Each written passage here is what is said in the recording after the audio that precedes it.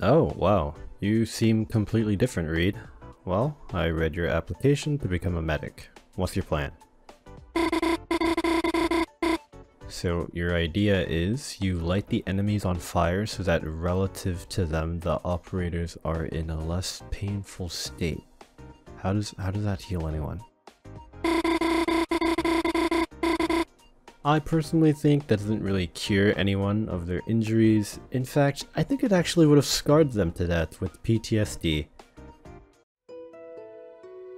Reed got the buff she deserved. She finally stepped out of Bagpipe's shadow and immediately fell into her sisters. Reed Alter is an incantation medic, meaning she attacks enemies and heals operators in her range for half the damage she dealt. Her healing is directly tied to half her damage, so in a situation where your ops are taking damage and Reed has no one to hit, it's Jover. You can rely on her healing most of the time, but occasionally you'll have to either swap her out or do some funky placement and facing adjusting to fix this problem. Her first talent gives her attacks a certain chance to land her own special debuff on the enemy for 6 seconds. The debuff reduces the enemy's attack and makes them take more arts damage. It's in general not that crazy, minus 20% enemy attack is nothing compared to Shamare's hella droppable minus 50% attack or Mousse's 100% uptime minus 40% attack, and even though the arts fragility is stackable with Saria S3, it loses to the female brawler's 55% arts damage amplification. This isn't to say Reed's debuff is bad bad. The effects aren't broken, but they're good enough, which is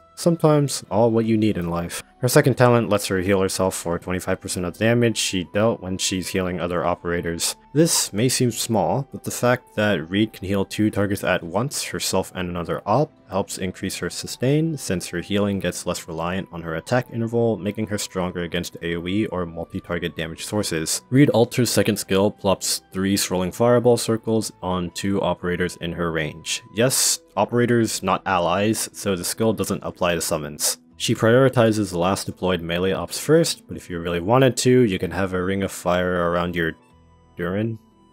Each fireball rotates counterclockwise, dealing damage to an enemy every 1.5 seconds. The operators with the fireballs on them also get that special Reed second talent magic, basically receiving more healing from her damage. Obviously, enemy operators like La Pluma or Hellagur won't benefit from the healing because it's the funny green number, which isn't passive healing. Alright, this skills kinda whatever, just some fireballs on some ops with decent healing and Reed's a medic. Surely she doesn't have that much damage.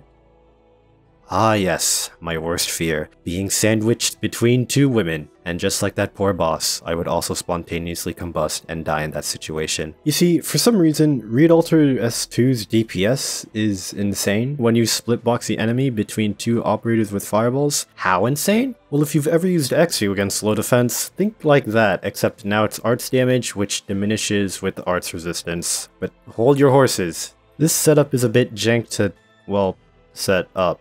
You need to dedicate 3 ops to deleting and sandwiching a single enemy, which in most cases is not worth it. It's also pretty bad against high or even medium res enemies because Reed doesn't have any precious arts resistance ignore. In general, there's probably a smarter way to kill the enemy you don't like instead of putting them into a double ring of fire featuring Saria and Citter as block buddies, but it's nice to know that this skill has the potential to go hard. Reed's third skill increases her attack and lets her attack two targets at once. Anyone she hits during the skill duration gets inflicted with her special debuff from her first talent, and all enemies inflicted with that debuff take arts damage every second based on Reed's attack. If an enemy dies during the skill duration and they have her talent 1 effect on them, they explode, dealing arts damage and spreading the uh, I mean the debuff to all the other enemies in a 1.7 tile radius. Once the skill duration ends, the debuff will be removed from all the enemies that have it. Even though I already talked about how her damage is not as insane as people make it out to be in a previous video, it's still pretty good. The bigger issue is that the damage can vary widely depending on the enemies. For example, most of you have seen that one chapter 11 stage with all the basic enemies flooding at you. Those guys practically have no res and no health, so the explosion and DOT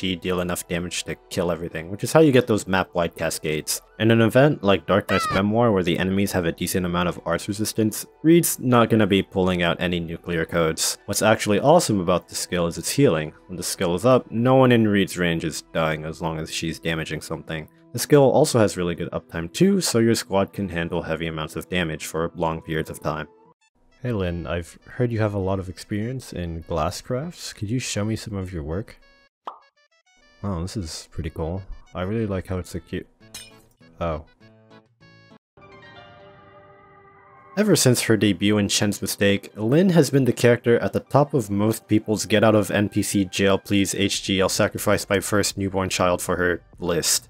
And here she is. And just like the title of the video, she's quite... interesting. Lin's part of the Phalanx caster branch, which is the thick archetype, fitting for an operator drawn by Leduc. They don't attack normally, but get twice the defense and 20 arts resistance when their skills are down. When they attack, they hit everything in their diamond-shaped range. So, how tanky is Lin? While at E2 max level and Trust, she has over 800 defense and 35 arts resistance, making her tankier than 6-star defenders at the same level. Unlike the other operators in her branch, Lin actually makes use of her tankiness through her talents. She wants to get hit, and no, not in that way. Her first talent is a bit convoluted. It gives a shield that negates all damage instances below 200. It's not even like a, oh, you do 5% minimum damage negation. Lin just straight up says, nah, never mind, to all damage 200 and below. And this is after her heavy defensive stats too. Poison maps? She do not care. M88CM Mephisto's poison? She do not care. Patriot Spear? Okay, maybe she has to care about that one. If she gets hit by an attack that deals more than 200 damage to her, her shield breaks, dealing arts damage and stunning all the enemies in her range, and she'll no longer invalidate all damage below the shield threshold until it comes back up again in 8 seconds. The attack that broke her shield will also do 200 damage less to her. Lin's second talent gives her a coin flip chance to get SP when she's attacked. It's not hard to see how this synergizes with her first talent. You put her in a spot where she takes no damage from enemies, which shouldn't be too hard because of her first talent that nullifies all damage taken below 200, and now her skills charge faster. Lin's third skill increases her attack and expands her range to a Saria S2. It increases her shield's damage threshold to 3 times, meaning now she will invalidate all attacks that deal 600 damage or less to her. If she kills an enemy, the barrier will shatter and instantly come back. This skill is a little deceiving because it might seem like she can tank more physical damage with her shield since the damage threshold is now 600 instead of 200, but remember that she loses a lot of her defense when her skill is up. The difference isn't that much, though her physical damage tanking gets a little bit lower if S3 is active. For arts damage, that extra 20 arts resistance off skill isn't much negation compared to the shield threshold, so she'll actually be able to tank arts damage better when S3 is up. Lin's attack stat with the skill up seems high, but her DPS isn't that great due to her 2 second attack interval. When she does hit though, she hits hard, which is great for shattering and regenerating that shield to stun all the enemies in her expanded range. Overall, Lin has a lot of mechanics to play with, she has a kit that actually makes use of the tankiness of Phalanx casters, and turns out when you have an operator that isn't straight up damage damaging even more damage, you get something interesting. What are my thoughts on your sister? Which, which one? Oh yeah, uh, yeah, the, the blue one, she's, uh, yeah. Yeah. Chongyue is the fourth Nian sibling to be released, representing the military or something. I, I don't know Chinese lore. And I'm definitely not pronouncing his name right, but at this point I've butchered enough names and I might as well go for an 11 kill streak for the AC-130. His first talent gives his basic attacks a 23% chance to make the target receive 65% more damage from him for 2.5 seconds. For all of you math nerds, no, this isn't attack scale, it's damage amplification, which is worse for physical damage. The chance might seem small, but Chong Yue's main skill, his third, lets him get this off pretty easily, that you'll see later. Now, I don't know if it's just me, but a 65% damage amp is a lot, so this talent is already pretty goaded. His second talent gives him 3 SP if he kills an enemy with the skill. Since all his skills are instant attacks with short SP costs, this talent with a bit of precision can make them spammable. Just think of it as playing League of Legends and farming CS, but instead of gold, your reward is listening to a deep velvety male voice whisper his catchphrases into your ear. Chongyue's third skill charges by him attacking.